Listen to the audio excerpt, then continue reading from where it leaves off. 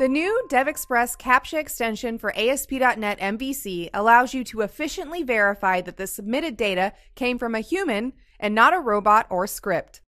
The CAPTCHA shows a challenge image, a refresh button that allows end users to generate a new code if the current one is hard to read, and a text box. You can define the CAPTCHA's code length and the character set.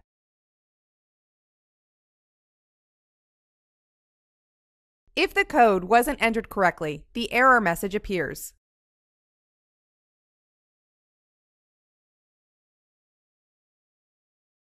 Let's take a look at how the CAPTCHA can be added to the project. Here I have an ASP.NET MVC web application, and here is the model represented by the person class. The home controller contains actions for the index view for post and get requests, and the OK action that returns a view when an end user successfully submits the edit form.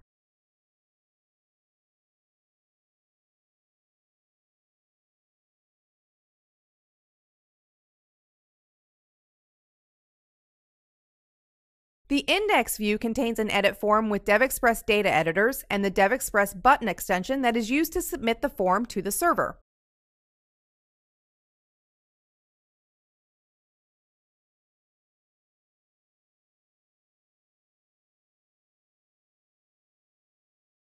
Let's take a look at the form in the browser. Here you can see the edit form that can be filled automatically without any protection from scripts and bots.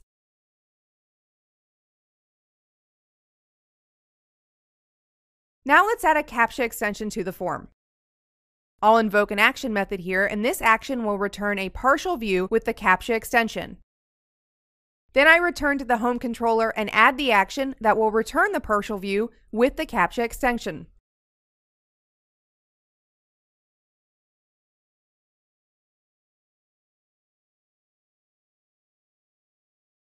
I add a partial view that contains the CAPTCHA extension.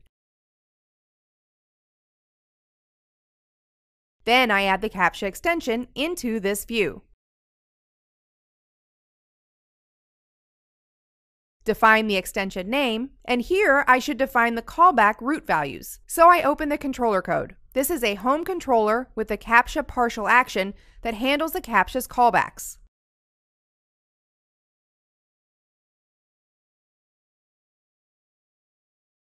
Next, define the character set and the code length.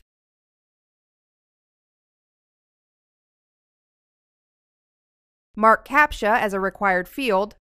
Define the error text. And define the error display mode. This is the same as the error display mode used within the data editors.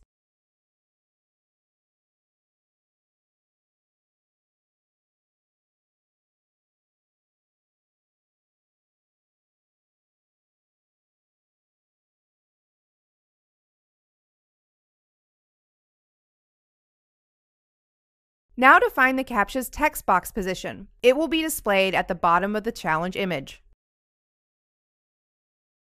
Then I return to the home controller. Here I add a check whether the CAPTCHA is filled correctly. This can be done using the CAPTCHA's getIsValid static method, which receives the CAPTCHA extension name as a parameter. So if a model and the CAPTCHA are both valid, the form will be submitted to the server successfully. Let's take a look at the result in the browser.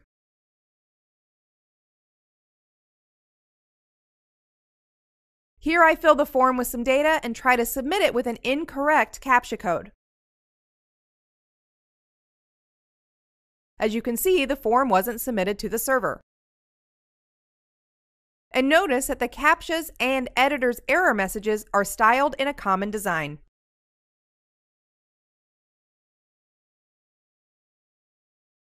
If all the fields are filled correctly, the edit form can be successfully submitted to the server. And that's it. Thanks for watching and thank you for choosing DevExpress.